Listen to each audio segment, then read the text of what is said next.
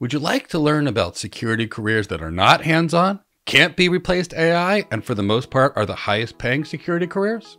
If so, this video is for you.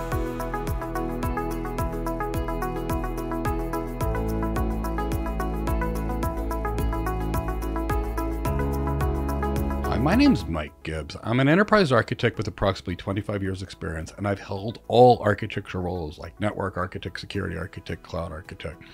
And today we're going to talk about some of the best security careers that are not hands-on and can't be replaced by AI. Now, the careers we're going to talk about in this video for the most part, have special requirements of the user. And we'll talk about what those things are. And those are the reasons we cannot be replaced by AI. Every one of the roles we're going to talk about is going to have to require some degree of consultation, communication, and collaboration across teams, leading large numbers of people, managing vendors, uh, comparing industry regulations put to possible solutions and their applicability to a business, evaluating some form of a trade off. And all of this will require lots of analysis, lots of interpersonal communication, and lots of leadership, and all the things that can't be done by AI.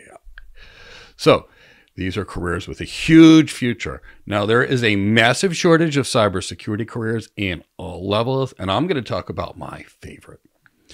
The first career that I'm going to start with is the security architect role. I love this role. I've held this role. I've trained countless others for this role. And once they're working in the security architect roles, they love it.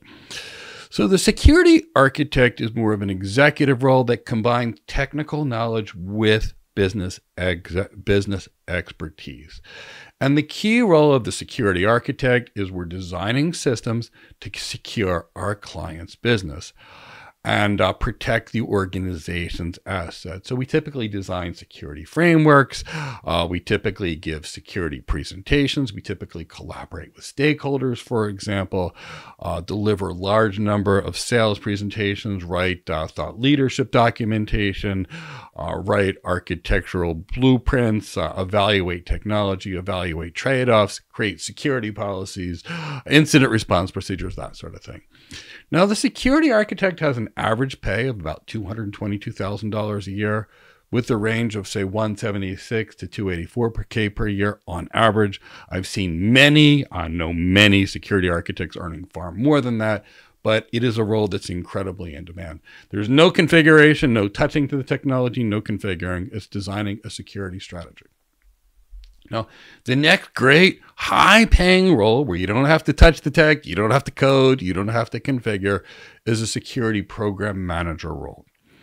Now, this is a role that oversees uh, planning the organiz- the cybersecurity budget. Uh, for example, uh, the execution of everything that's necessary, uh, the pulls the plan to, to run that security program. It coordinates teams, it tracks metrics, it's a leadership role um, making sure you've got the right people, the training's there, the staffing is there, and all these other things that are necessary, uh, along with a strategy of, of protecting the organization. So a lot of people management, a lot of strategy here. And of course, that's why you see another good salary with an average pay of about $170,000 per year with a pay range of 139 to 216. And every one of these salaries will include uh, a screenshot of where I got it from Glassdoor. I got it today, and these are as of today's salaries as of the time we made this video, which is May 2025. So the next pay is obviously going to have a fairly good salary, and you'll understand why. It's the Chief Information Security Officer. Now, this is effectively the Chief Security Architect. Now, this person is the Chief Strategist.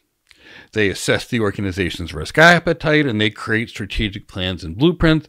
The CISO gets all the information from the security architects, the cloud security architects, the security solutions architects and they're going to be uh, security engineers and others are going to be advising the chief information security officer. And they're going to be the person that has the go no go decision on security environments. So this is an executive lots of business acumen lots of executive presence lots of leadership because they have to be able to lead large teams. And that role pays an average pay of $309,000 per year with a pay range of 244 to $400,000 a year. You can also see much higher in this position as well and it's obviously one of our favorite. And you see a lot of security architects build their business acumen, their leadership skills, their executive presence, and they move into these roles. And that's why I've always been a fan of business acumen training, leadership training, executive training. And that's why I train so many architects in these skills to move into those CIO, CISO type roles. Now, the next role is out not going to be as high paying, but it still fairly pays well. And that's going to be more of a compliance manager. And that's going to be someone that's focused on policies, conducting audits, conducting assessments. For example, like an uh, uh, ISO 27001 assessment or a PCI DSS kind of assessment. Anything that needs regulatory requirements. Now, this is going to be the effective being counter that's back there checking things, knows the rules, knows the regulations. Sometimes they're an attorney, sometimes they're not. You typically see an average pay of about 156 for this with a pay range of 124 to 200. It's a very important role, but uh, you know, people typically don't want to spend as much money on protection as they do strategy, so that's why it's typically less. Now, this next role pays off fairly well and it's a chief privacy officer and it pays well because it's an executive which means lots of business acumen lots of leadership skills lots of executive presence the ability to speak to the board when necessary uh, so lots of leadership here. And that's why the chief privacy officer typically earns about $338000 a year with an average range of say 257 to 455 now, this is someone with an expert on privacy knowledge, an expert on privacy regulations, an expert typically on other things that would be necessary to secure information systems. So, another big role. Now, the last role we're going to talk about is something that's pretty hard to define. It's a security consultant. And uh, a security consultant is someone that provides strategic guidance in some way to an organization based on an area of risk management, uh, best practices, program maturity, something to that effect. Now, again, it's not a technical role, and that, but the key is consulting can mean a lot of different things to a lot of different people. But typically speaking, it's an advisor. An architect is an advisor, but this is a type of an advisor. And because you see consultancy being used for a lot, you're typically dealing with a pay range of about 195 to about 174, according to Glassdoor as of today. So, you know, we're talking about some pretty good roles here. Now, when you look at these roles, I particularly like the security architect and cloud security architect because not only they have an average pay of about $222,000 a year, but they can easily move into much higher paying roles like the chief information security officer. Add more business acumen, add more leadership, add more executive presence, and all of a sudden your security architect is now the chief information security officer. So those are, I typically like that role. I've trained people for that role. I love the role. Now, uh, then we talked about the chief information security officer.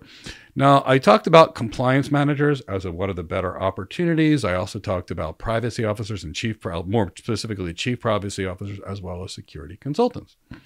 Now, if you'd like to become a security architect or a cloud security architect or an AI architect or an enterprise architect or a network architect or pretty much any other kind of architect, uh, not only are we an architecture institute, but we hold a free architecture uh, webinar once a week we'll go over the architect role. We'll talk about what we do as architects, the skills you need in various architecture roles, how to stand out and get hired. And it's completely free. This uh, webinar is on Zoom. Uh, they're two hour webinars. You can register by going to the description of this video on this webinar. Not only will we talk about those things, but we'll answer any questions you have in any way we can to assist you in your career and it's all free. So register, it's in the description of this video. While you're looking in the description of this video, we have free things to help you. Guides on winning the interview, guides on being, say, a cloud architect or an enterprise architect, what have you, guides on how to earn more in your technology career, and they're all free.